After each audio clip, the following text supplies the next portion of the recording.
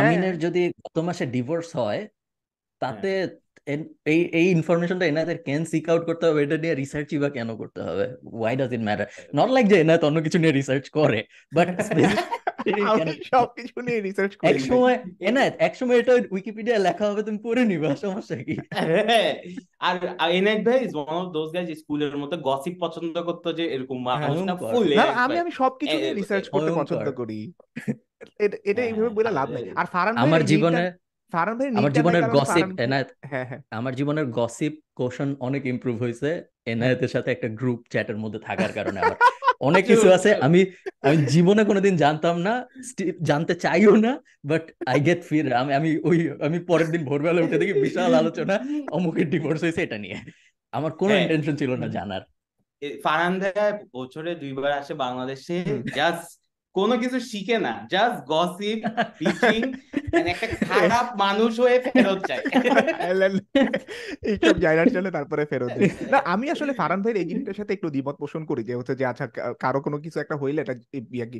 আমার কাছে মনে হয় জিনিসটা জানা দরকার আছে কারণ আমি আমি হচ্ছে আমি সারা জীবন সিঙ্গেল মানুষ ছিলাম ঠিক আছে? সো রিলেশনশিপ আমার জন্য খুবই কমপ্লেক্স একটা ব্যাপার। হঠাৎ করে যখন আমি রিলেশনশিপের মধ্যে যাই আমি যদি এই জিনিসগুলো নিয়ে আগে চিন্তা ভাবনা না করি বা হচ্ছে এই জিনিসগুলো মানুষের কখন কি হয়েছে না হয়েছে আমার কাছে এটা মনে হয় ফারান ভাই অনেক বেশি কমফোর্ট জোনে তার কারণ ফারান ভাই লম্বা একটা রিলেশনশিপের মধ্যে থেকে ওই মানুষটারই বিয়ে করছে। তো ফারান ভাইয়ের অন্য কোনো কিছু চিন্তা করার দরকারই পড়ে না।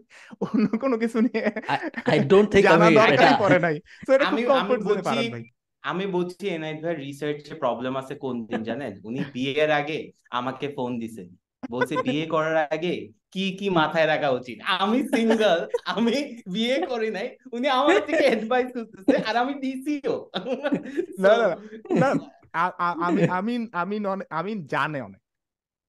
এইটা একটা নলেজ ইজ পাওয়ার বললেন না ভাই এটা না। পরে ভুল ইনফরমেশন একটা দিব তারপর কন্ট্রোভার্সিতে পড়ে যাব না না না আমরা কোনো ইনফরমেশন দিতেছি না। আজকে আমরা খুব সুপারফিশিয়াল কথা বলতেছি। সাদমান অনেক কিছু চুপ আছে অনেক কিছু বলতে চাইতেছে। হ্যাঁ সাদমান নাই শুট শুট না না না মানে এনআইজি কোশ্চেনটা করছে এটা আনসার আজকে আমি আজকে কোশ্চেনটা করার আগে আমি আজকে আমাদের গ্রুপ চ্যাটে দিয়ে রাখছিলাম। আমি জাস্ট স্ক্রিন শেয়ার করি জিনিসটা আমিও ফার্স্ট জানতে পারতেছি জিনিসটা। ও। দেখা যাচ্ছে? কি এটা? যাবে। এখন যাচ্ছে। ও হ্যাঁ সো এইটা আমি লাইফে ফার্স্ট দেখলাম। তো যেটা হয় সেটা হচ্ছে বিভিন্ন মানুষের বিয়ের আগে তাদের ব্যাকগ্রাউন্ড চেক করার জন্য দের দিস সার্ভিস তো ওরা প্রাইভেট ইনভেস্টিগেটর পাঠায় এন্ড সবগুলো জিনিস তারা জানতে পারে। তো এই জিনিসটা আমি সকালে হ্যাঁ? সকালে এটা থাকলে এনআইভিআর বিয়েটা হইতো না। মিস অপরচুনিটি পূর্ণতা।